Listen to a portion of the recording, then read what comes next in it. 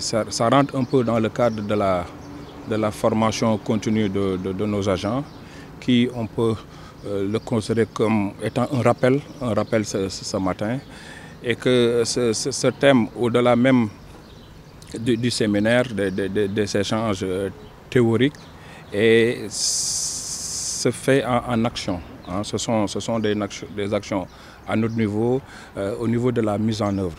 Donc c'est c'est une situation que nous vivons quotidiennement. Euh, en tout cas au niveau des établissements pénitentiaires, c'est l'amélioration des, conditions de vie. Hein. On peut penser à,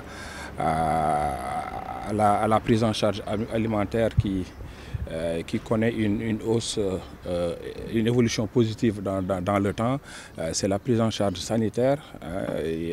des efforts importants ont été consentis dans le cadre de la lutte contre la, la Covid-19 et nous constatons, elle n'est pas encore finie, mais nous constatons avec bonheur que, en tout cas au niveau de la deuxième et troisième vague, au niveau de l'administration pénitentiaire, nous n'avons pas euh, enregistré de, de, cas.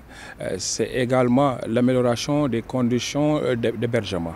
je l'ai annoncé tantôt dans, mon propos, au niveau du ministère de, la Justice, il y, a, un programme d'infrastructure qui prévoit la, la, construction de neuf établissements pénitentiaires sur une durée de, de trois ans.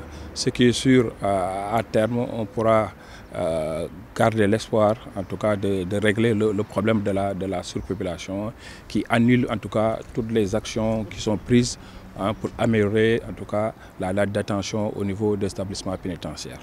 Vous, savez, le, le, le, règlement intérieur, il est, il est, partagé. C'est dans le cadre de la procédure euh, d'admission. Hein, quand euh, un détenu une personne est admise en, prison, il y, a, tout un circuit. Hein, il y a tout un circuit euh, au niveau du service médical, au niveau du greffe, mais également il y a la procédure, euh, au niveau de la procédure d'admission, il y a une causerie, hein, en tout cas, visant à familiariser en tout cas le détenu avec le règlement intérieur.